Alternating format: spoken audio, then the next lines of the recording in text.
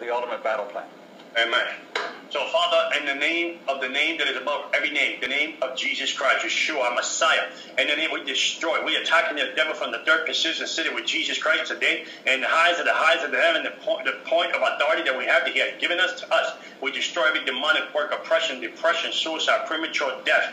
Father, we destroy every demonic sickness, Father God. We destroy diabetes, cancer, Father God. We destroy every divorce spirit, my God, every demented spirit, every bipolar spirit. We destroy those things against our brothers and sisters out there under the sound of our voice. Father God, we smite the devil with the blood of Jesus Christ. Father God, we smite every demonic attack, every residual attack, we, every reinforcement, we destroy Father God. In the name of Jesus Christ, Father God, we dip arrows in the blood of Jesus Christ. We shoot them into the devil's camp and destroy every target, every generation of curse be destroyed in the name of Jesus Christ. Father, we declare and decree Father God, Isaiah chapter 2, 5, a wall of fire, the same wall of fire you put on Job, you put on us. The weapon formed against us will ever prosper because Jesus is king and the devil is a liar. In the unmatchable name of Jesus Christ. Amen. Amen.